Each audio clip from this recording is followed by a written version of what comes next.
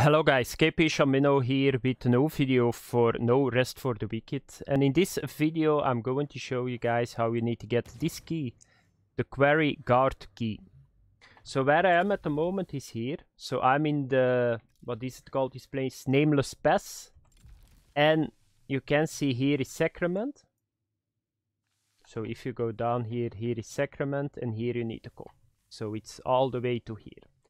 Uh, so you need to get the key to free this guy and where do you need to go? You're, you are going to jump a couple of times and it's not that easy. I play with keyboard therefore I'm going really slow but I'm going to give uh, the keyboard guys a little bit tip. So just put your uh, cursor here, push shift and you will always be okay. This will help you a lot. So once again, here you go, put it here, shift and you jump. And now you can go with shift a little bit quicker because you got a lot of room. So there is not a lot of room for an error. So first of all, what we are going to do is we are going to activate Whisper. Why the Whisper? Because if you die, you will spawn right away back in this uh, yeah, area, very close to this area, you can go again. So where do you need to go? You just need to do this.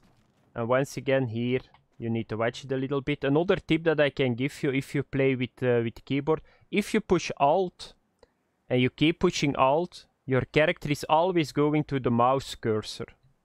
That's a lot easier. Do you guys see that? So it's like a very, very easy... You can just... I'm pushing Alt now the entire time. It's just going to the mouse cursor. So what do you need to do? If you're on a ledge, you can just click on the on the ledge and you will never fall off it. So then you need to come to here.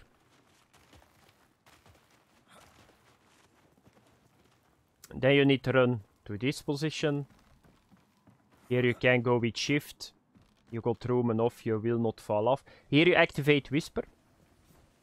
And then you go back. So go back to this, uh, through this uh, stair here, because you can kick the ladder too. The one that you just saw that we cannot use. So if you come here, is it here? It's over here. Okay. Here we go. And now we can use this ladder. Of course, I jump off, like always. And now you just need to go the same way again.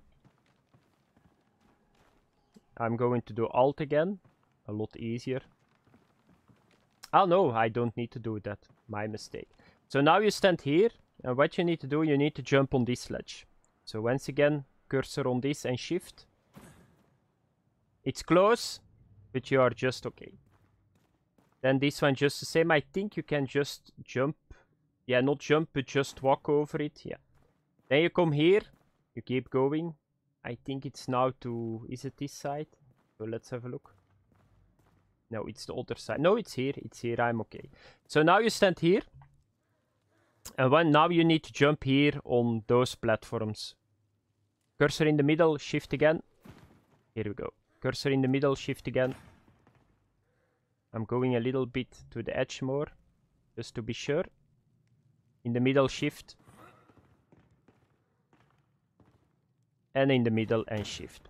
And now you need to jump to this side. And now you need to go up here. We can do, if you want again, you can do alt again and just play it safe. And here you will find the Quarry Guard key. So that was it for the tutorial guys. Thanks for watching, have fun, bye bye.